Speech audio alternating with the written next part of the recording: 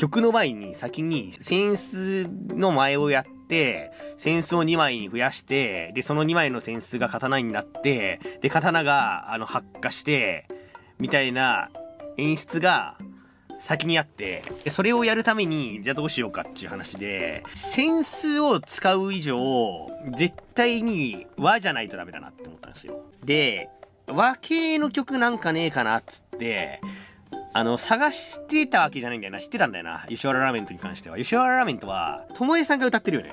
うん、ぽよぽよ言っておりますね。この演出がどうこうの前から、結構和の曲、和のボカロとか、和で使えそうな曲は、結構マークしてて、絶対に俺はどっかで使うと思って、結構マークしてたんだよね。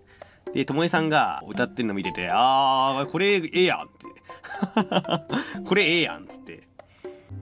あとなんかエゴサにすごく引っかかってそれから知ったんですけどあの長尾さんが吉原ラーメンとをあの選曲したのが選曲したきっかけというかなんか白焼が歌ってるのを聞いて知ったとかいうのをね振り返りで話しててめちゃくちゃ嬉しかったですね。ライバーさんに歌ってみた聞いてもらえてることがすごく光栄でそうそうそう知ったきっかけが白雪の吉原ラーメンとだって。それ言ってくれるのもさ優しいよね。別に言わなくていいわけじゃん。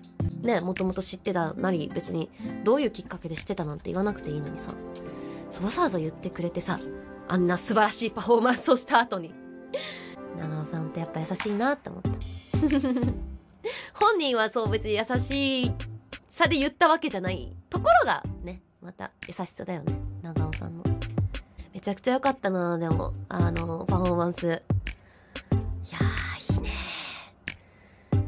いやーてかあれがこうあの演出がパッと浮かぶのがすごいよね。うん。